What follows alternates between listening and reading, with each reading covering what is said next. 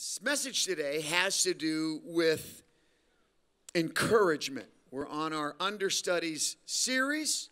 This is the third message in the series, and the topic today is encouragement. And um, I want you to take the notes out. I left some notes for you uh, on your chair. It'll be easy for you to follow along in the message. But let me tell you a story before we get started. I, I kind of did some recalibration after the first service. I think I was 32 years old. And I had been on the road for several years. I'd been a, a, a, youth evangelist for a number of years, but I was on the road now as an evangelist, and I was just getting my voice. Uh, uh, one of our best preachers on staff is Pastor Terrence, and he knows what I'm talking about. You have to preach for a while until you get your voice, until you get your flow and who you are. And I'd been a youth pastor for a number of years, but I was just getting my voice on the road. And, and I say this very humbly, but you know how we think of life where you're starting to kind of, how do you just upgrade in your professional does that make sense? I, I don't want to get arrogant, but you're starting to improve in your. This is definitely a calling, but it's a profession. To, and, and, and so I was, I was kind of you know, my name was getting out there a little bit more than that. Jesus was getting out. Can you say amen? But, uh, but, but I, I wasn't very well known, but I was getting my voice and feeling better all the time. And, and, and the, uh, my calendar was full every week flying somewhere. And uh, it was the uh, General Council. This has been about 36 or 7 years ago now. And the General Council was in Los Angeles. By the way, since that General Council, this will be the first time that the General Council for the Assemblies of God, 10,000 churches, will be in Los Angeles. And you need to know, church, get ready, that your Trinity Church band, you just heard them, they were up here leading you in worship they have been asked out of 10,000 churches to be the worship team this coming summer in Los Angeles at the General Council Influence Conference. So I'm very excited about that. But you need to know that I was 32, and um, we had been told, all the churches uh, had been warned and, and promoted that Denny Duron, and of course, you know now, I don't think Richie was maybe just born and DawnChere wasn't born yet, but my boy Rich married Denny's daughter, DawnChere, but this is 32 years ago, 30, whatever, eight years. I don't know. Anyway, so Denny was the man among all youth preachers anywhere. This guy was all over the world. He was a professional football player. Uh, he was just, and the guy could just preach, just preach the paint off the wall. And all guys that were in the ministry, men at that time, wanted to be like Denny. You know, all you people know about Be Like Mike. We wanted to be like Denny. And I mean, he was my hero. He was only a week older than me, but he was my hero. And I wanted to be like Denny. And Denny had been promoted for one year in all the Assemblies of God churches across the nation. That at this date in August in Los Angeles, he would be the featured speaker in the big pre convention youth conference, thousands of young people and his face was all over America, and everybody was looking forward to being with Pastor Denny. And so it, it got there. I, I raised the money so I could go to the event, you know, and be at the event. And Robin was with me. John Fulton was a brand new baby, which means that Rich wasn't born yet. Anyway, so um, uh, it's the service, the launch service, and about a hundred of us young adult men were in the back, you know, kind of a green room area, jammed in with Denny, and we're going to pray for Denny before he preaches. It places thousands of young people. And they say, Denny, we want you to step in the circle. We're going to lay our hands on you and pray for God's anointing. He goes, I have to say something. He said, um, early this morning in prayer, I've been battling it all day, but God spoke to me. The Lord said to me, You're not supposed to preach. You got to stand down. Rich Wilkerson's supposed to preach this event. When he said that, my whole life just kind of ended on that spot. I, I wasn't thrilled. I was shocked because I didn't know I was supposed to be the preacher. I had nothing prepared. He hadn't called me when God called him, you know. And I was shocked. I mean, I was devastated. Uh, and you think I was shocked? Every guy in that room barely knew me. They were really shocked. What? And he goes, No, this is it. And I want Rich, you to step in the center of the circle, and I want us to lay our hands on you. And folks, I walked in just shaking like that, and he laid his hands on me, and then he led the prayer, and a hundred guys laid their hands on me. And folks, something came on me, the power of the Holy Ghost. And I will tell you, that service was undeniably shocking, an anointing of God. The altars were jammed. I mean, and from that point on, I had so many meetings, I could not take them all. For three years, my calendar was booked because my mentor, my friend, set me up. He encouraged me. Open your Bibles to Acts chapter 15, verses 36 through 40. If you don't have a Bible this morning, I'm sorry you don't, but uh, we do have that on your notes. So take the notes out or look on the screen. We've made it easy for you to follow along. Sometime later, Paul said to Barnabas, Let us go back and visit the believers in all the towns where we preach the word of the Lord and see how they are doing. Barnabas wanted to take John, also called Mark, with him, but Paul did not think it was wise to take him because he had deserted them in Pamphylia and had not continued with them in the work. They had such a sharp disagreement that they parted company. Barnabas took Mark and sailed for Cyprus, but Paul chose Silas and left, commended by the believers to the grace of the Lord. Today, in this third message in the understudy series, I want to talk on Barnabas and John Mark, the mentors call to encouragement. Let me quickly call off some nicknames.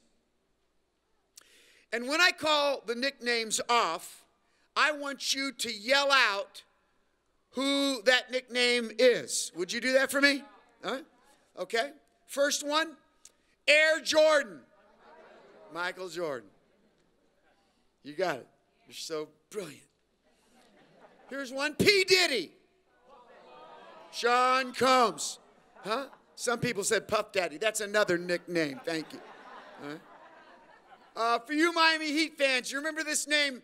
Flash. Dwyane Wade, absolutely. The Flash. We got to get him back. Hey, you old timers in the room.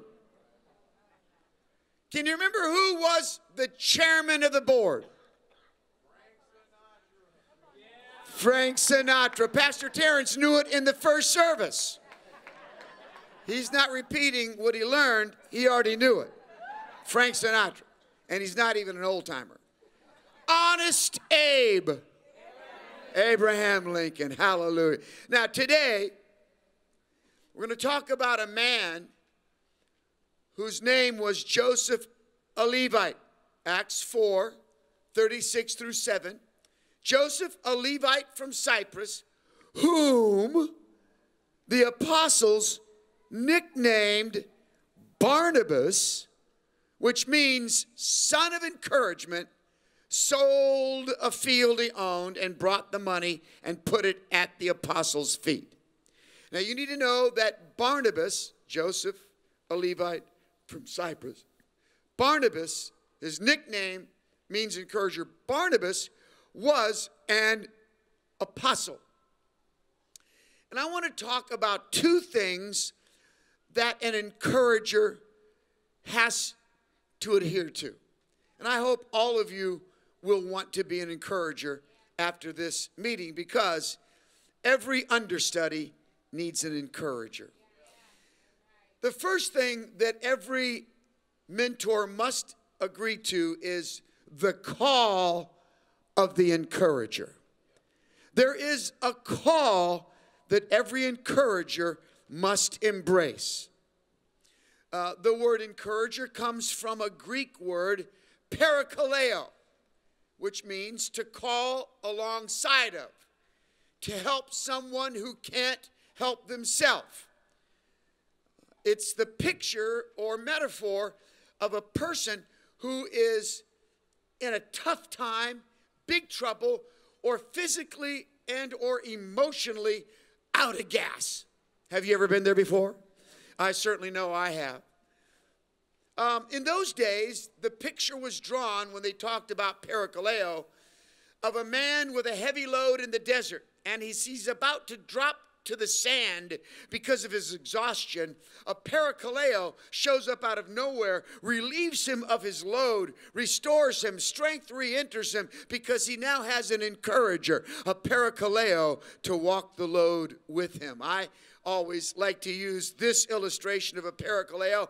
Think with me, especially the football fans in the room, uh, of the, it's a futuristic scenario that we're all longing for. The Miami uh, Hurricanes are back in the national championship, and and that particular year, the national championship, the Miami Hurricanes against some idiot team, will be played this year in the Orange Bowl. And we don't even know who he is, but they've got a running back who has led the team the entire game. He's run for 200 yards. But in the second half, he's been battling cramps in his legs. His thighs are cramped up bad. I mean, the trainers on the side have been pouring milk and pickle juice and Gatorade and water and every other kind of liquid down his throat to try to relieve him of the cramping. The team has somehow scored with two seconds to go in the game and they're down a point. There's a timeout. Are you ready? The coach knows if they kick the extra point and tie it. They got to go into overtime. He knows his star running back can't last the five minutes. Thinks to himself, I believe I can get him out there for one more play, right up the middle. He's got to leap like nobody. And so he calls the running back and his play. And the running back, some of you guys that have played ball know, walks back to the huddle like this, trying to get his thighs hammy and all that stuff, not to freeze up on him. He gets the play and he walks up and he leans into the call. The good thing is they're in his team side of the field. So the end zone is filled with thousands of parakaleos for this guy. They're all his encouragers. They're calling his name, they're calling his number. The noise is so loud, the quarterback has to do the signals with his head. And they hand off with the parakaleos screaming. And the fullback takes the ball and soars one last time into the air, into the end zone. Two points. Boom, game over. They win. How did he win? Oh, he's a great running back. He's got all the tools, but he's in a bad way. His strength is expended and depleted. It's over the cramping, but his encouragers pulled him through for one more play. And he knows it.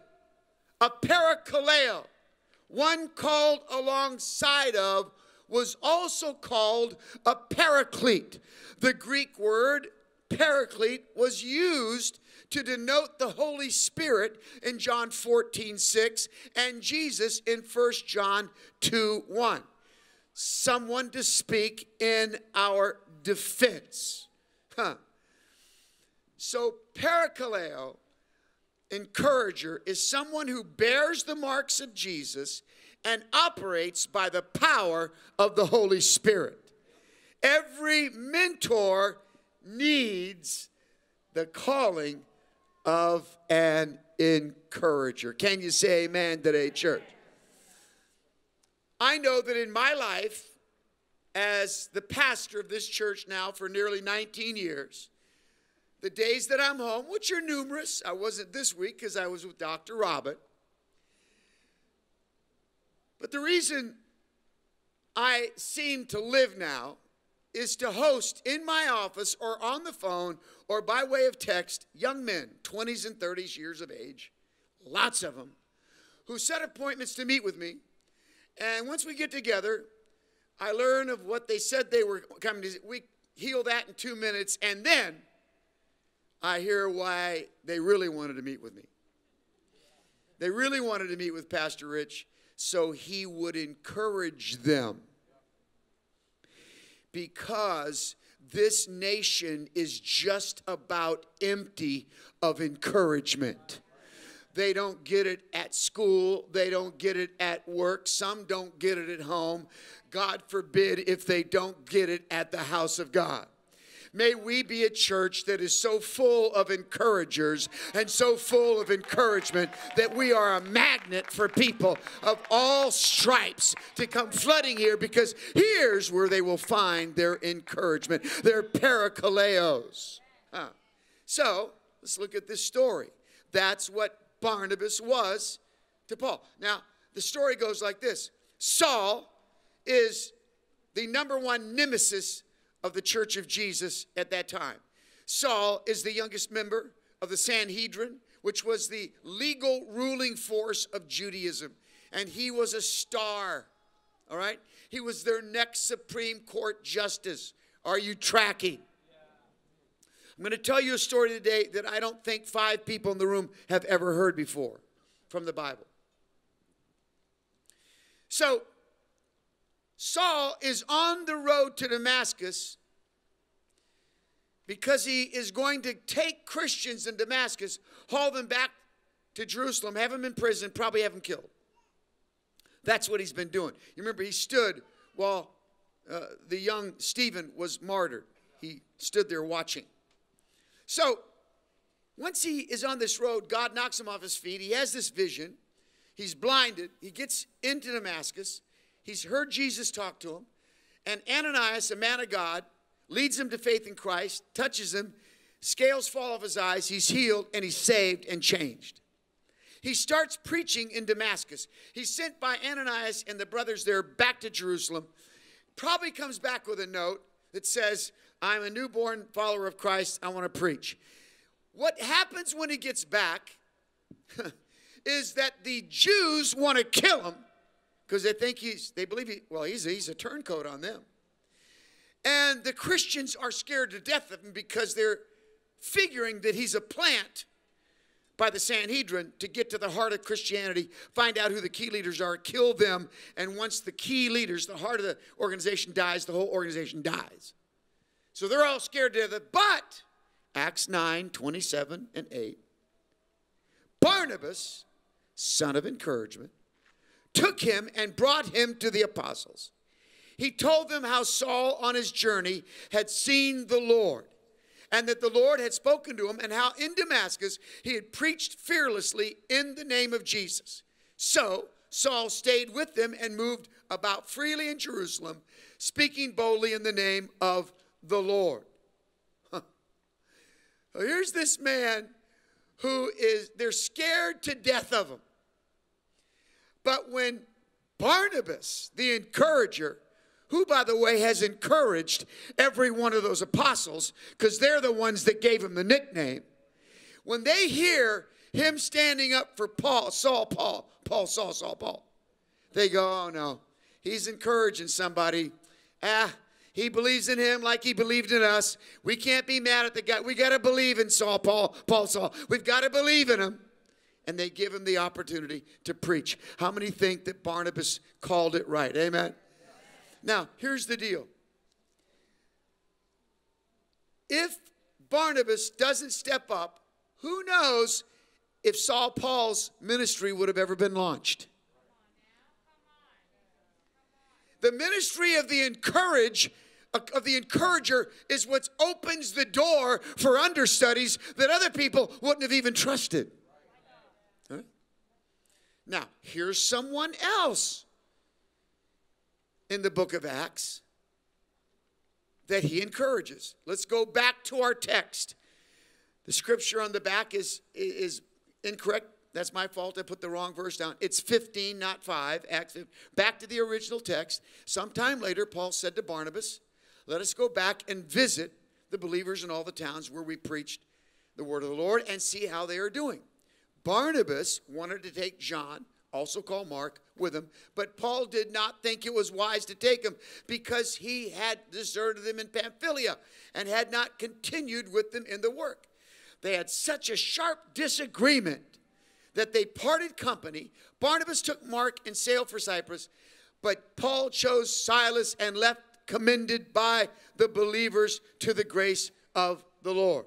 This is interesting. In the first missionary journey, you can read this in Acts 13 1 through 7.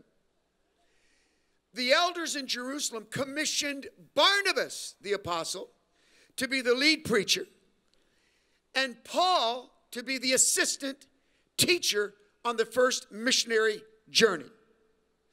Along with them was Dr. Luke. You'll notice after this story, Dr. Luke is always with Paul. Paul could preach for other people's, pray for other people's healing by God, but when it came to himself, he wanted a human guy standing right there. Dr. Luke, are you with me? A real medical doctor. Okay. Just want to set that record. He had faith for others, but for himself, not much. So he always took Dr. Luke with him. But initially, it was Barnabas' call. We need Luke. We need you, Paul. But we need an understudy. That'll be my cousin. He's pretty young, John Mark, probably 16 years of age. They get on the road, and just a few weeks into it at Pamphylia, Mark, most theologians agree, got chicken. Or he's, he's supposed to be carrying their luggage. He gets chicken and runs back home to Jerusalem, back to mama. He's scared. You can imagine the rest of the trip, Paul's going out, that little punk, that, that idiot. I'd like to get my hands. He never got a spanking when he was, I'll tell you right. Barnabas probably said nothing. They get back. Time for the second journey. Barnabas says, Of course, we'll be taking John Mark again. Paul says, oh, I don't think so. No, no, I don't think so. I don't believe we're going to take him. Barnabas says, Oh, yeah, we're going to take him. I'm taking him. He says, No, we're not. Barnabas says, Okay, then I'll take him. I'm out. Let me say something. The encourager is all about hanging out with the understudy until the understudy wins. It's standing up for someone that can't stand up for themselves. It's called to be alongside of until they can go on their own. It's called the call of encouragement. The second thing I want to say about the parakaleo, the encourager, is there is a cost to be an encourager. The encourager is willing to risk his or her entire reputation to see the understudy win. Let me ask you a question. Barnabas's first understudy was St. Paul. Let me ask you this question. Who in Jerusalem really knew if all that stuff had happened to Paul? They get word from Ananias, there's been a change. Do you believe every word that comes to you? I don't. And neither did any of the apostles in Jerusalem, except for one Barney. He says, Hey, we all know Ananias. We believe Ananias. He's a man of God. Are you kidding me? He had to be as scared when this guy showed up in his presence as you guys are right now. Come on. Let's believe the good report. Let's give this guy a shot. Huh. And so all the apostles, okay, we'll give him a shot. Huh. Lighten up. So they do. Now, it comes time to give John Mark a chance. How many of you have ever needed a second chance in your life? You messed up so bad, but you needed a second chance. Anybody at all? Thank you for being honest. I got both hands and both. I, am sitting, so I got I got all four limbs sticking high. Man, I've messed up so many times. Man, I've needed a 14th and 15th and 16th chance. Paul, no. Barnabas, come on, man. Come on. Come on. You got to give this guy another chance. I'm not doing it. Remember the kid ran up. Do you remember when I was laying dead in Lystra? Yeah, I remember Barnabas says, I was there. Luke never left you. I didn't leave you. You got up. God healed you. We made it. Let's give the kid another chance. I'm not going to do it. Barnabas, fine. Have a great life. I'm out. And he takes the boy, and the Bible doesn't say they commended him. There's no fanfare for Barnabas and John Mark. They'll go, oh, that's great. He said, okay, Mr. Star Paul. And Paul was a star. He gets Luke again as his doctor, takes Silas as his assistant teacher and a new understudy, Timothy, who he calls his son in the ministry. How many remember, remember Timothy? Okay. And they head out on their second tour. And Barnabas is never heard from again in the New Testament. Why?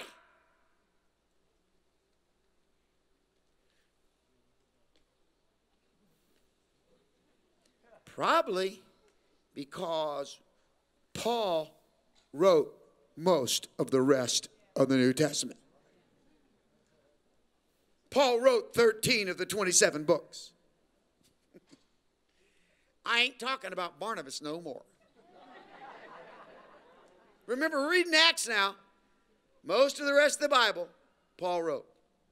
But we do hear about John Mark again, a couple times. And one time, guess who's writing about him? St. Paul. 25 years later, 2 Timothy 4:11, Paul's an old man. He's 3 years away from his execution. He's in prison in Rome. And he says, he writes to Timothy, "Only Luke is with me. Get Mark and bring him with you because he is helpful to me in the ministry."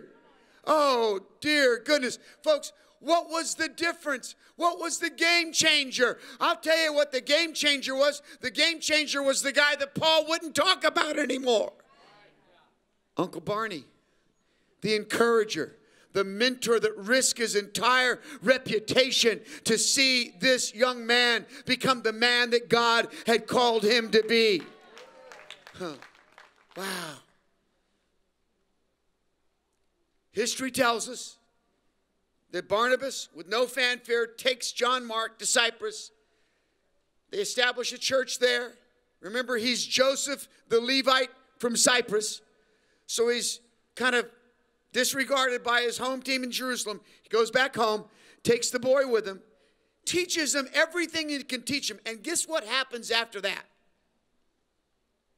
This is the part most of you have never heard of in your life. Barnabas takes him as far as he can take him. Then he hands John Mark off to his old friend, St. Peter, to take him the rest of the way. And Peter does the graduate training, postgraduate work for John Mark. John Mark, historians tell us, became Peter's personal assistant for years to the point that John Mark is called by the apostle Peter in 1 Peter 5:13 his son. John Mark becomes Peter's Timothy. And every historical researchers of the biblical canon agree that St. Peter, listen to me, is the author of the book of St. Mark. But that Peter is speaking all those words to his associate, John Mark. And John Mark is the writer of the book that bears his name. Remember, John Mark isn't even alive probably while Jesus is walking the certainly doesn't know the stories. Peter recounts all the stories to his understudy, John Mark, the apostle. John Mark records it all. And then historians tell us that John Mark, they have proof, worked closely with St. Luke the doctor. And they coordinated and confirmed the stories so that their gospels were synoptic, that they were parallel to each other. So their facts were straight. Isn't that amazing? The old man, Paul, says, I got to see him before I die. He died in three years later. You see, St. Mark, John Mark, had taken the gospel to Alexandria and established Jesus' ministry in Alexandria. He too was the apostle Mark. Paul died an old man in AD 68, but the young man, St. Mark, who was probably in his 40s, he died the same year a martyr's death, dragged to death by chariots by the people in Alexandria who disagreed with the gospel he preached. Wow. None of us want to be dragged to death, but all of us admire anyone who's died for Christ. I've been talking about encouraging those around you, especially new believers who mess up. You know, I think of the drug addicts that I've led to Christ through the years, and some of them slip back into drug abuse. What are you, you idiot? Should have known Jesus set you free. And I've never been a drug addict. I've never had to break that addiction. I've never done that. Who would do that? What religious freak would do that? You don't do that. You pick them back up. You encourage them. Come on, man. We're going to get past this. We're going to win. We'll get past it. To speak for those who can't speak for themselves. You know, I hate to admit it. I guess we all have. I go to movies. I like movies. I just, I never could, you know, figure out why when I was a kid, I wasn't allowed to go to movies, but we could watch them on TV. I, I never could, I, I never could figure, like, it's okay if it's on your TV, but not to, you know, I was a real strict Pentecostal growing up. Ah, I got out of the house. Dad said, You're on your own. I said, Fine. Figured I wasn't rebelling anymore since I was on my own. Went to movie. I love movies. Uh, one of my favorite movies is called Scent of a Woman. And it came out about 100 years ago, just after I was born.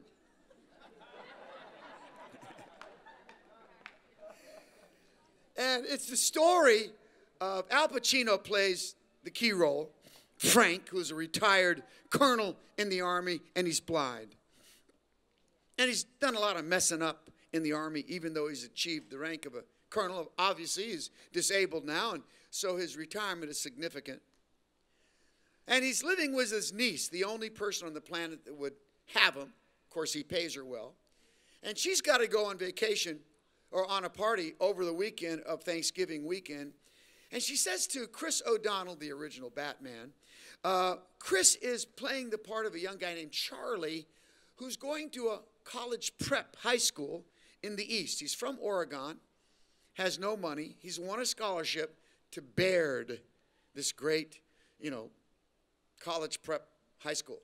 And he's there on scholarship. All the young men there are from stinking wealthy homes. You know what I'm talking about. Uh, and, and Charlie's there on scholarship and trying to match up with him. And one night he sees four of his friends break in, you know, to the dean's quarters and vandalize it. They don't even know he sees it. And there's lots of guys around, but he sees it. And so there's an investigation. They find out that he's a witness. And so they put these four young men on trial.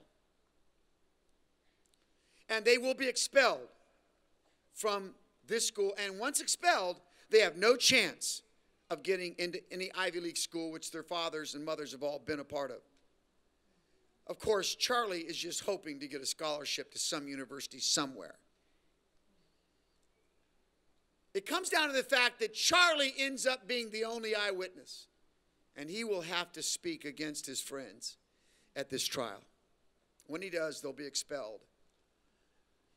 So he go he goes to this girl says, "Hey, Charlie, if you'll watch my uncle for the weekend, Thanksgiving, you know, I'll pay you well, enough for you to get home and back for Christmas." He says, "I'll do it." So he meets this guy, and the guy's real crusty. The guy ends up taking him to New York City for three days, showing him the town. Of course, this guy's blind. He has a walking stick, you know, with the red tip on it, blind.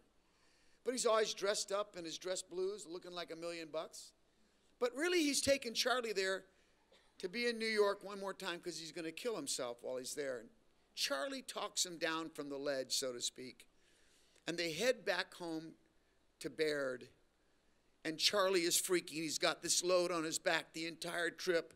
All he can think about is, I got to face the music. I got to speak against my friends. And when he gets home and sits in front of 400 young men, fellow students, and the main perpetrator is with his father across the stage, and he sits alone. The disciplinary team is on the stage, and the dean is there to pronounce the verdict. Because Charlie will not sell his friends out. He says there were a lot of guys that they look like a lot of Baird men. I'm, I can't speak for sure. And so the dean is going to bring it down and he's going to be expelled. His life is over. While this is going on, Frank, Colonel Frank, walks in the back door with his walking stick, feeling his way down all the way to the stage, gets to the stage, takes his coat off, his overcoat, and sits on the stage next to Charlie, since Charlie has no one to speak for him. And here's what happens. I thought you'd like to see it. To the disciplinary committee, Cut the lights, please. that you be expelled. Mr. Sims, you are a cover-up artist and you are a liar. But not a snitch. Excuse me? No, I don't think I will. Please watch your language, Mr. Slade. You are in the Baird School, not a barracks. Mr. Sims, I will give you one final opportunity to speak on. Mr. Sims doesn't want it. He doesn't need to be labeled still worthy of being a Baird man. What is your motto here? Boys, inform on your classmates, save your hide. Anything short of that, we're gonna burn you at the stake? Well, gentlemen, some guys run and some guys stay. Here's Charlie facing the fire and there's George hiding in Big Daddy's pocket. And what are you doing? You're gonna reward George and destroy Charlie. Are you finished, Mr. Slade? No, I'm just getting warmed up. I don't know who went to this place. William Howard Taft, William Jennings Bryan, William Tell, whoever. Their spirit is dead, if they ever had one. It's gone. You're building a rat ship here. A vessel for seagoing snitches. And if you think you're preparing these minnows for manhood, you better think again.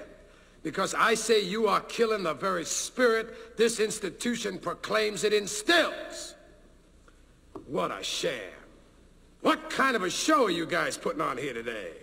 I mean, the only class in this act is sitting next to me, and I'm here to tell you, this boy's soul is intact. It's non-negotiable. You know how I know? Someone here, and I'm not going to say who, offered to buy it. Only Charlie here wasn't selling. Sir, you're out of order. Out of order? I show you out of order. You don't know what out of order is, Mr. Trask. I'd show you, but I'm too old. If I were the man I was five years ago, I'd take a flamethrower to this place. I've been around, you know. There was a time I could see, and I have seen, boys like these, younger than these, their arms torn out, their legs ripped off. But there is nothing like the sight of an amputated spirit. There is no prosthetic for that. You think you're merely sending this splendid foot soldier back home to Oregon with his tail between his legs, but I say you are executing his soul. And why? Because he's not a Baird man. Baird men. You hurt this boy, you're gonna be Baird bums. The lot of you. Stand down, Mr. Slade. I'm not finished. As I came in here, I heard those words. Cradle of leadership. Well, when the bough breaks, the cradle will fall. And it has fallen here. It has fallen. Makers of men. Creators of leaders. Be careful what kind of leaders you're producing here. I don't know if Charlie's silence here today is right or wrong. I'm not a judge or jury, but I can tell you this. He won't sell anybody out to buy his future. And that, my friends, is called integrity. That's called courage. Now that's the stuff leaders should be made of.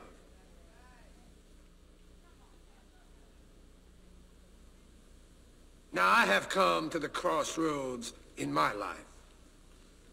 I always knew what the right path was. Without exception, I knew, but I never took it. You know why? It was too hard. Now here's Charlie. He's come to the crossroads. He has chosen a path. It's the right path. It's a path made of principle that leads to character. Let him continue on his journey. You hold this boy's future in your hands, committee. It's a valuable future. Believe me, don't destroy it, protect it. Embrace it. It's gonna make you proud one day, I promise you.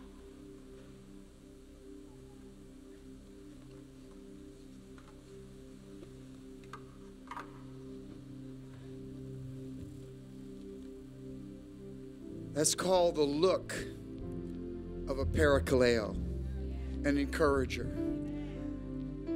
I'm sure that many of you have had someone in your life that has encouraged you along the way. I know I have. Some of you have not been that fortunate. You've had to make it on your own. But I want you to know if you haven't, there is one who has stood for you when you couldn't stand for yourself. Because Revelation 12:10 says that all day long the devil stands at the throne of God accusing you and you and you and every last one of you us in this room of everything we did last night and last week and last month and through our lives. He keeps hashing it out. Even stuff that's already under the blood. He reminds God, reminds God. And all of a sudden, the Bible says that King Jesus steps in with his nail print hands and feet and riven side and says, Dad, I'm the reason why they are free. I went to the cross. He speaks for us when we can't speak for ourselves. He is our ultimate parakaleo. Today, God is calling us, a church, individuals, to be encouragers of younger ones coming up behind us, to be mentors who are called to risk it all so that someone else can win. I want you to bow your head with me. I've gone a little long today. With your head bowed and your eyes closed, I wonder how many would just say, Pastor Rich, I so desperately need to be forgiven today. I've been hearing the devil tell me what a louse I am for the past week, past month. Pastor, I just, I got to get, would you include me in your final prayer? I need to be forgiven by God. Would you please, Pastor? I need God's forgiveness today. If that's you, if you'd like for me to include you in my final prayer, I want you to raise your hand right now. Real, real high, all over the room, real high. I'll see it. Yes, yes, yes, yes, yes, yes, yes, yes, yes, yes, yes. I see yours in the very back. Yes, yes, and yours as well. Yes, I see yours over here. How many more over here? See your hand, sir. Over here, I see your hand and your hand as well. How about the overflow? Yeah. Oh man, yes. Thank you, thank you, thank you. What about the bleachers? Any one of the bleachers? Uh, hallelujah. Hallelujah. Hey, stand to your feet, everybody. Everyone standing. We're going to sing that song, There is Power. And on the first word of the song, if you raised your hand, come on, get some guts today. If you raised your hand, I want to pray with you personally right at this altar. I'm going to ask that you step from where you are. Come and stand with me. Let me take your name to Jesus in prayer. Let's walk out of this room free today. Say, Pastor, if I go down there, people will see me. That's the whole point.